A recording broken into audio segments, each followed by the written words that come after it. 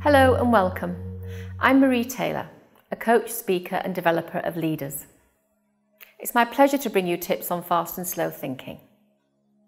The world is speeding up. We do so many things faster than ever before. We travel faster than we did 10 years ago. Our channels of communication are instantaneous.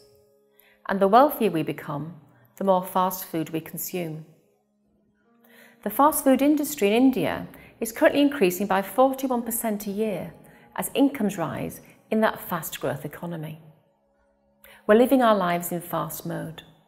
We associate being fast with progress. A problem of being in a fast world is that we shortcut, scan, and put pressure on ourselves and others to come up with a quick response. We don't always think things through or go and find out the real answer. We're just so busy, and it's a problem because in our hurry to get to wherever our mind is going, we are less likely to be able to give considered thinking to things that matter. It's affecting our health. What scientists agree on is that the cells in our bodies are intelligent and respond to our thoughts.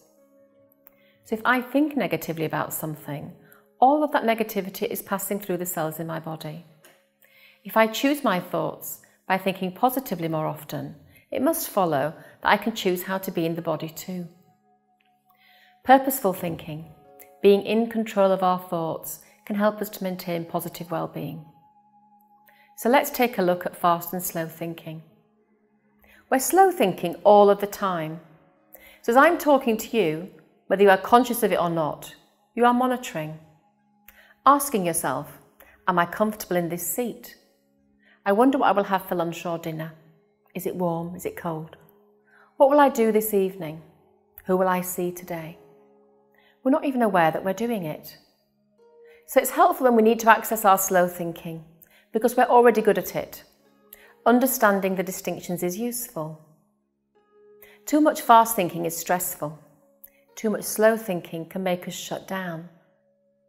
That's not to say fast thinking isn't valuable. It is, very, for certain things. Sometimes we need to access our vast database of memories and historical knowledge and make a quick decision. In fast thinking, we're sitting with questions and looking for or giving answers.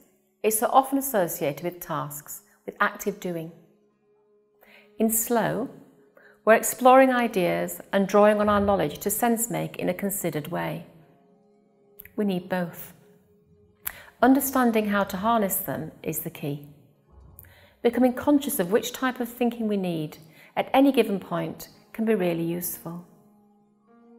We become conscious of our thinking by slowing down and turning the rest of the world off, even if only for a minute.